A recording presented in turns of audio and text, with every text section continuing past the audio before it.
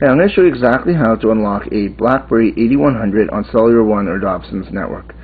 Follow the step-by-step -step process, and by the end of this process, you will have an unlocked BlackBerry 8100 on Cellular One or Dobson's network.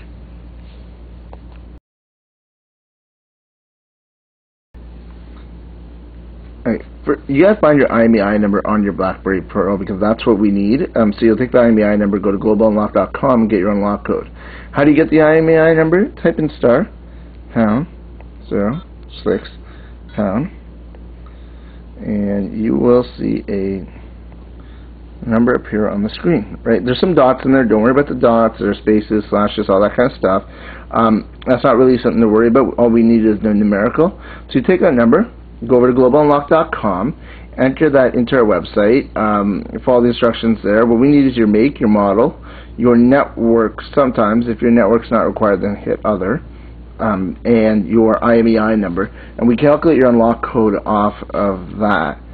Uh, so now, assuming that you've done that, you've gone to Global Unlock and you've got your unlock code, uh, we can move on to the next step.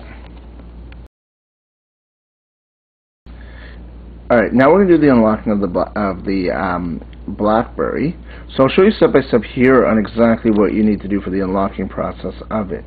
Um, first of all, you'll notice it says insert SIM cards. I need to insert a SIM card into this phone.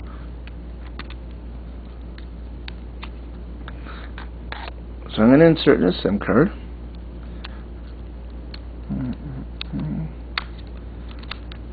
Alright, so I've inserted a SIM card into the phone. Anyone who has a BlackBerry knows how the great um, turn-on time and how long it takes.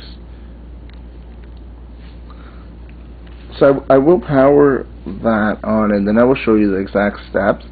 Um, of course, there's also written um, steps of this which um, you uh, will get or should have got um, as well with this video that will walk you step by step through exactly what I'm doing.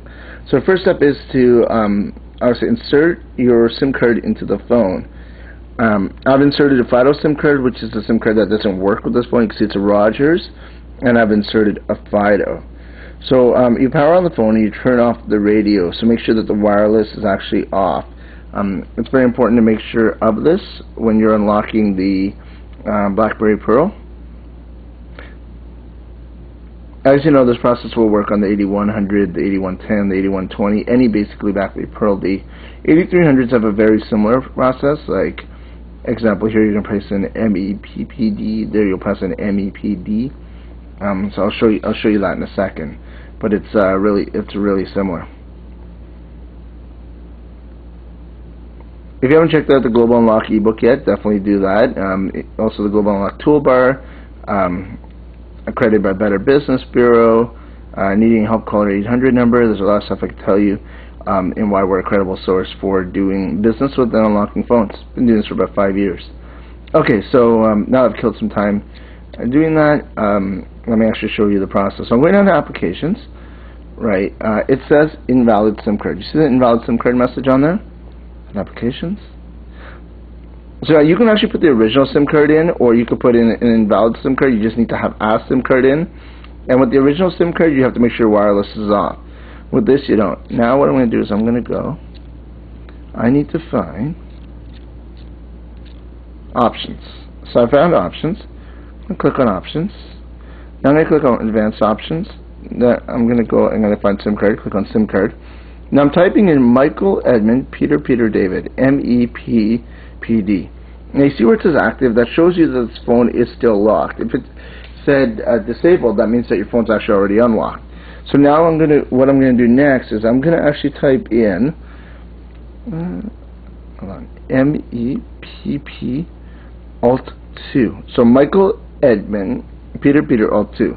Now I have 250 tries left on this phone. I haven't tried to unlock it yet. If that gets to zero, um, good, good luck in doing that. It's pretty tough. It take a lot of time to do that.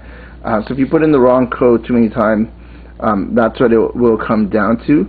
Also, this code will not work on your phone because the unlock code is unique for each phone. So make sure that you have your unlock phone, globalunlock.com, and that will work on your phone. Um, actually, you know what? Let me show you two things. Let me actually show you where I'm just going to put in the wrong number. I've just typed in numbers, Code error. Please wait. What does that mean? That means that obviously uh, it did not work because I put in the wrong unlock code. Now let me show you uh, myself doing it right. Michael Edmund Peter Peter Alt 2 and I'm going to put in 2 3 2 7 5 7 5 6 so that is the correct unlock code. So I'm going to enter it in the phone. Then I'm going to hit the jog code accepted. Now you notice that it said disable here. Um, and you'll notice that um, the phone number 416-857-7601 is on here that's a global unlock phone number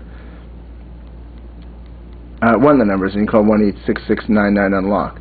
So now you'll also notice that it says Rogers Wireless, you actually picked up a network.